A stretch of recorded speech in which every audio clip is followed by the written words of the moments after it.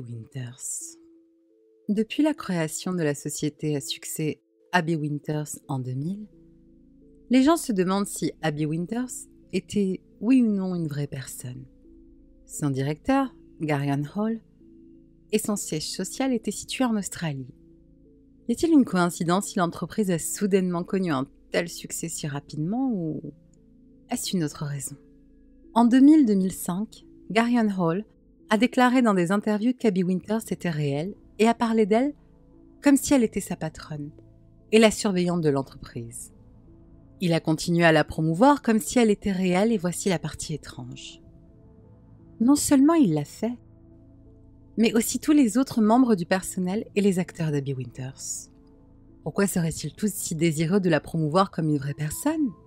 Était-ce juste une grosse blague? Ou y avait-il une part de vérité? Soudainement, mi-chemin de la piste, ils sont passés de dire qu'Abby Winters était réelle à dire non, ça va, elle a été inventée. Pourquoi? Pourquoi aurait-il soudainement changé d'avis si rapidement après avoir fait la promotion de sa réalité pendant plus de cinq ans? Il y a peut-être une réponse à cela. Abby vient de Abigail, qui vient de Abba, le juif pour père. C'est l'un des noms de Dieu. Donc en mettant le nom Abby Winters ensemble, cela se traduit par l'hiver d'Abba, l'hiver du Père.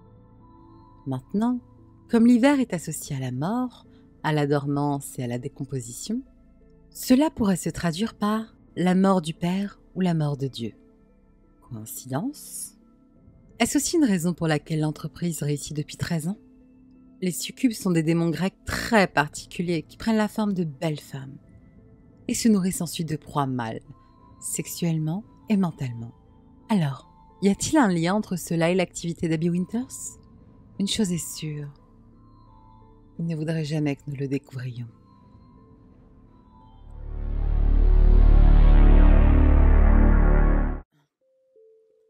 Influence. Depuis que je suis jeune, j'ai toujours été assez intéressée par la façon dont les gens pensent et prennent leurs décisions. Mais le type de personnes pour lesquelles j'ai toujours eu un grand intérêt étaient les personnes déprimées, ou plus précisément les personnes suicidaires. Qu'est-ce qui les pousse vraiment à suicider? Est-ce leur dépression? Est-ce dû à des niveaux de stress extrêmes? Ou y a-t-il une sorte d'influence externe? Peut-être une influence si subtile que les gens ne les remarquent généralement pas? Les possibilités sont infinies. Et je me suis récemment lancée dans une sorte de mission d'enquête pour mieux comprendre les suicides.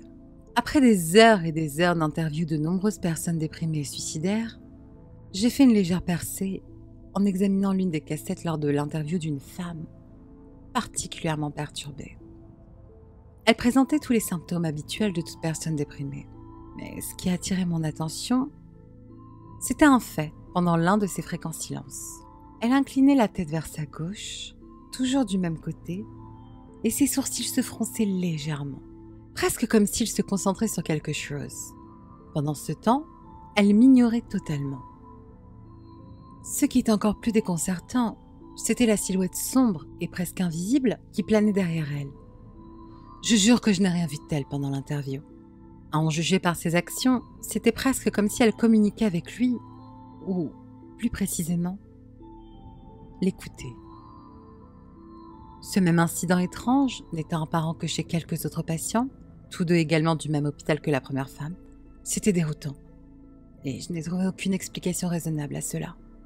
Perplexe mais intriguée, j'ai appelé l'hôpital pour me rendre compte que les trois patients s'étaient suicidés la nuit suivant les entretiens. La méthode était la même pour les trois. Ils avaient sauté par la fenêtre. Jusqu'à aujourd'hui, je n'ai toujours pas d'explication logique pour les mystérieuses figures sombres. Était-ce des fantômes ou juste un tour de caméra? Les décès étaient-ils le résultat de ce que ces chiffres avaient dit? Et enfin, nos décisions sont-elles basées uniquement sur nous-mêmes? Ou sommes-nous inconsciemment influencés par des forces invisibles parmi nous? Telle est la vraie question. Hollow Man. Nous avions une vieille histoire de fantôme qui s'est incrustée dans notre ville. L'histoire de l'homme vide. Étrange comme nom.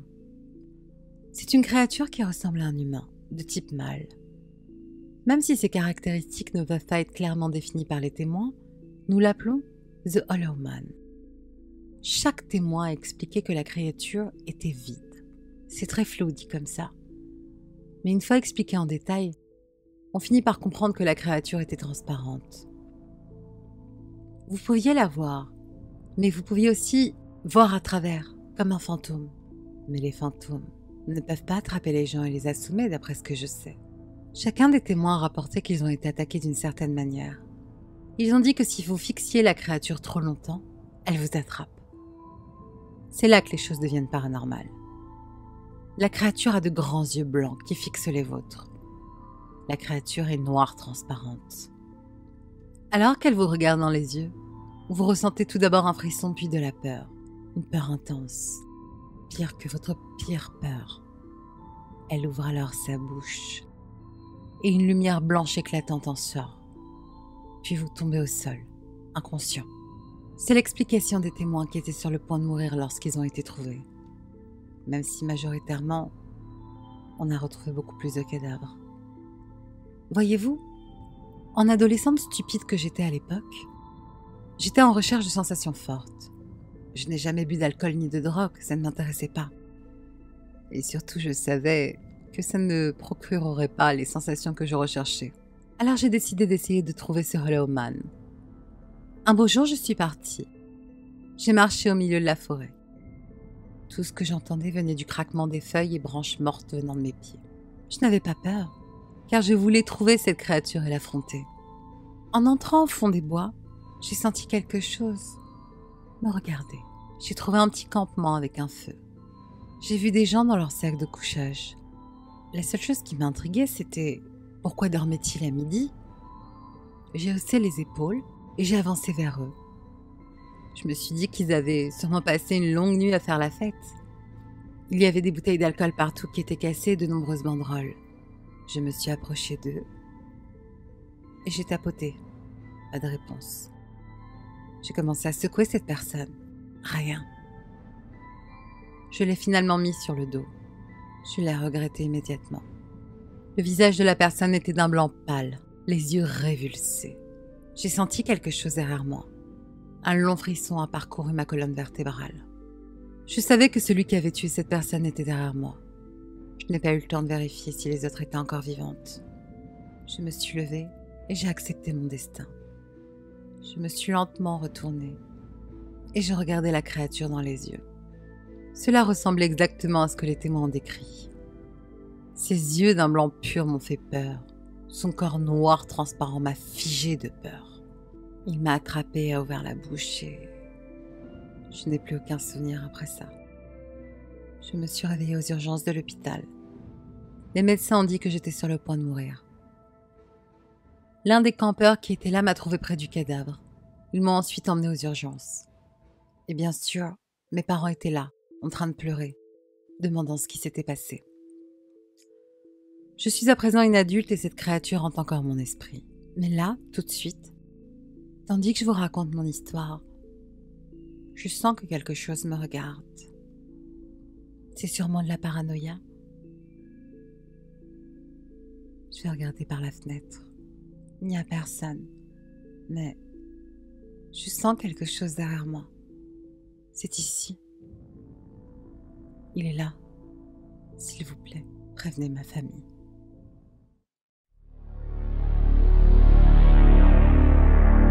Sept minutes. Si vous avez déjà vécu une expérience de mort imminente, vous avez peut-être déjà vu votre vie passer devant vos yeux. J'ai interrogé plusieurs personnes à ce sujet. Ils ont dit que c'était comme s'ils avaient traversé toute leur vie en une seconde. Je ne trouve pas que ce soit tiré par les cheveux. Votre cerveau aime éviter le stress pour ne pas avoir à faire face à la mort. Donc, si votre cerveau pensait que vous alliez mourir, il irait au moyen le plus simple de s'échapper, la mémoire. Ainsi, quand il approche de la fin, votre cerveau allume tous les souvenirs que vous n'avez jamais eus. Le cerveau restera également en vie pendant environ 7 minutes après votre mort, à condition qu'il soit intact. Donc, si vous avez 7 minutes et que vous pouvez vivre toute votre vie en une seconde, c'est 60 vies par minute. 420 vies en 7 minutes. C'est beaucoup de temps et beaucoup d'expérience avec la mort. Combien de temps vous reste-t-il? L'univers alternatif. Il existe un autre univers qui ressemble beaucoup au nôtre. Ses entrées sont disséminées à travers le monde, aux endroits où se rassemble l'énergie la plus psychologique. Des écoles, des hôpitaux, ce genre d'endroits. Durant chaque année bissextile, le 28 février est la période d'activité astrale anormale qui ouvre les portes. À minuit exactement, la minute entre le 28 et le 29 février, si vous êtes chanceux ou malchanceux d'être par une de ces portes, elles s'ouvriront en grand pour vous accueillir. Dans cet autre univers, les choses sont pour la plupart les mêmes. Sauf que toutes les relations d'amour et de haine sont inversées. Votre pire ennemi est votre amant. Votre meilleur ami est là pour vous tuer. Ce genre de choses. C'est un beau voyage. Une bonne évasion de cette réalité. Amusez-vous bien. Mais rappelez-vous, si vous entrez, vous y êtes coincé jusqu'à l'année bissextile suivante.